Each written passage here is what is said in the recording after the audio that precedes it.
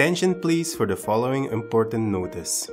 From Thursday, December the 24th until Friday, December the 28th, the following regulations will be issued.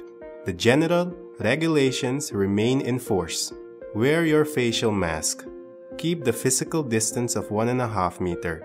Wash your hands regularly with soap and water or use hand sanitizer. Lockdown curfew is from 7 o'clock in the evening till 5 o'clock at dawn. Outside of curfew hours, the following regulations are issued. Social gathering is limited to groups no larger than 5 people. Parties, including house parties, are prohibited. Dispensation will not be granted.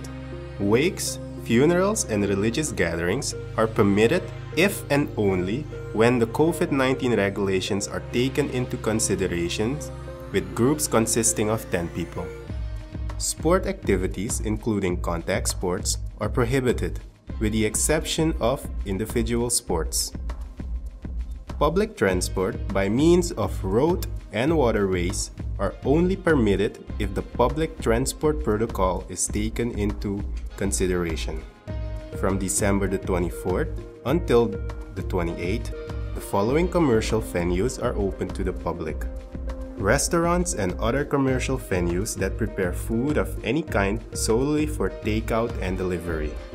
Grocery stores, bakeries, butcher shops, pharmacies, drugstores, clinics, hospitals, daycares, public transport, petrol stations, and local banking.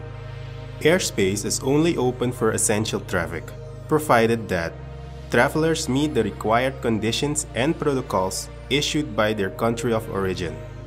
Traveling abroad must be approved by Surinamese authorities after an assessment. Flights to the interior are only available for cargo transport or medical emergencies. Passenger flights are prohibited. Quarantined, isolated people and others obliged to stay home are strongly advised to adhere to the regulations and to stay within their home or accommodation boundaries. Government offices will be closed from December the 24th, 2020 until January the 1st, 2021, with the exception of offices providing essential and necessary public services.